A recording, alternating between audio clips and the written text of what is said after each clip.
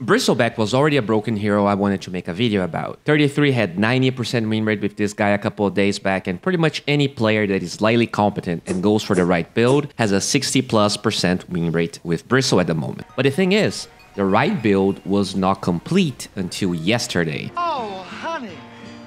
Beautiful. Collapse literally advanced Bristleback technology to never before levels in one day. The most unexpected decision. What if you never learned more than one point in Bristleback?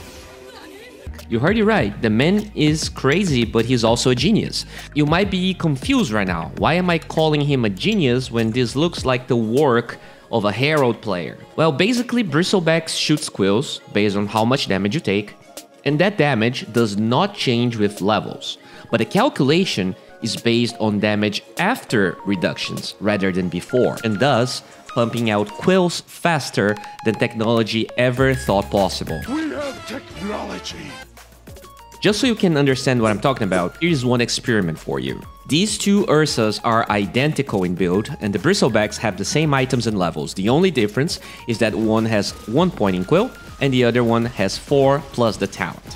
What's interesting here is that the damage taken is not that different on the Bristlebacks because the Lifesteal talent and the Bloodstone gives a ton of sustain to both, but at the same time the damage output is clearly higher on the Bristleback with only one point in the passive. Yes, science! Okay, so how do you play this hero? The starting items are Triple Branch, Double Mangoes, Gloves, and Tango. Your progression is rushing Ring into Vanguard, but in games you know your lane is stronger, you can actually get Arcane Boots first. I actually saw 33 skipping Vanguard completely when his lane is only. But the standard is Vanguard, you're gonna get yourself a stick, Arcane Boots, Aghs, Voodoo Mask into Shard, into Bloodstone. After that, BKB, Kaya Sange, Lotus Orb, Travels are all viable options and it's mostly about the order you're gonna be making them.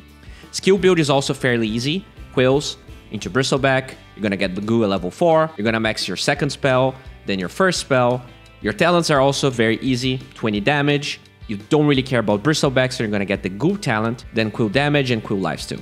One of the big reasons this hero is good right now is the Aghs, and a lot of people struggle to hit the timings these high MMR players hit because they are not efficient with their time. Watch how Collapse after the laning stage is constantly dragging creeps from the lane to camps, and this is actually important for two reasons. The obvious one is that you're farming more gold with the same amount of mana, which at this moment is a limited resource. But the second one is actually the most important part.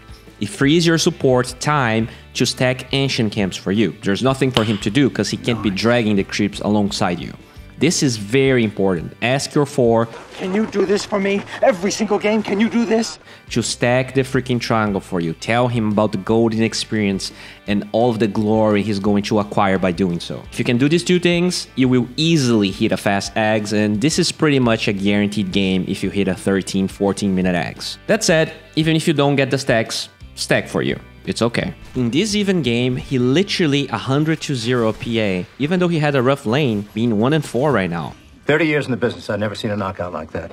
We talked a lot about how one point in Bristleback is better, but one thing worth mentioning is a Bristleback that completed Aghs just as fast, playing the normal build at 13 minutes, would have one, maybe two points in goo. That means once you get the shard, the difference in minus armor with Collapse's build and the slow that you're outputting is significant. You're gonna go from 9% to 36% slow and from minus 6 armor to minus 9 armor.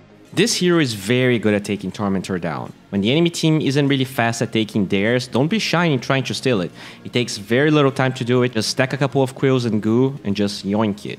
When it comes to team fights, Bristleback is a beast, especially against heroes that have no movement spells or force staffs. The fastest way to kill someone is getting 3 or 4 goo charges on them and then using your Aghs.